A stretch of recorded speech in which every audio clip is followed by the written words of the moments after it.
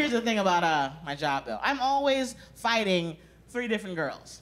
I'm Jackie, as you guys know me. My mother still calls me Jacqueline. But I'm also Jaquisha, the black girl from the Bronx that comes out at the wrong time at every corporate job. Secret Santa, what's the normal amount? 10 bucks, maybe, every now and then 20. I had a job, but they raised it to $50. 50! Jaquisha jumped the buck out. I said, $50? She still got my stapler. Fuck the knees, fuck this company. My bad. Was that Jaquisha? How'd she get here? I'm sorry, she been to jail. My bad. I don't know how she got in here. Oh my God. I am, um, I'm not wearing any kind of Spanx. It's just, it's just a thong, a bra, and the truth. no, what are you clapping for? I tried to put on Spanx when the whole COVID ended to go back out in the streets. Almost fell out the window. Oh my God. They're very tight you're out of practice. Because I'm an actor, you know, most comedians are. What they don't tell you is that I'm, what I'm really called is a fat actor. That's really the category I'm in. When I get emails from my agents, they always say, Jackie, we're looking for somebody older, average looking, and experienced. I email them back every time. Who's this for? I'm not older, I'm experienced. Average looking, clearly I'm adorable. Overweight, this is called voluptuous mochaccino.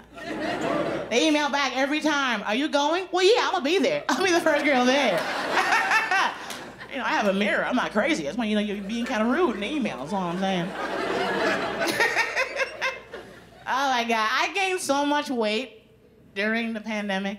Here was funny though, women are the biggest liar. They're like, oh my God, I've gained so much panty weight, bitch. You were a chunky monkey pre-pandemic.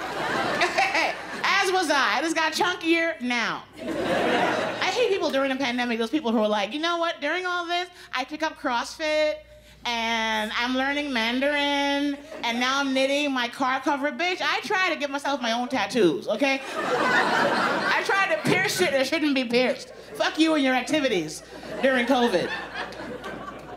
No one should be fatter when this is done than white women. You women started baking like slaves when this shit started.